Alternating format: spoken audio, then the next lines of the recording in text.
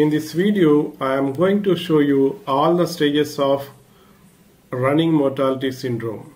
On the right, it is stage 1. In the middle, stage 2. On the left, it is stage 3. You can notice the color change.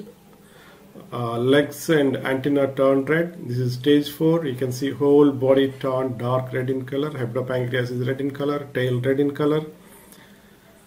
And uh, you can also notice empty and red stomach. In very few cases, you will find yellow fecal matter floating on the water surface. This is very rare. Very few cases we have noticed yellow fecal matter just before uh, running mortality sets in and just before death. A few shrimps uh, they develop white muscle and people uh, think this is a mineral deficiency but this is not due to mineral deficiency. When you do netting you will find several shrimps dead on the pond bottom.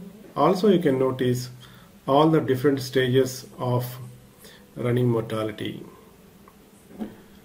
And in severe cases when the uh, mortality increases you will find floating dead shrimp. This is due to decomposition of the hepatopancreas and due to gas bubble formation it floats on the water surface. This is a severe case.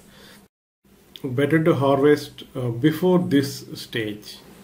That's all. Thank you very much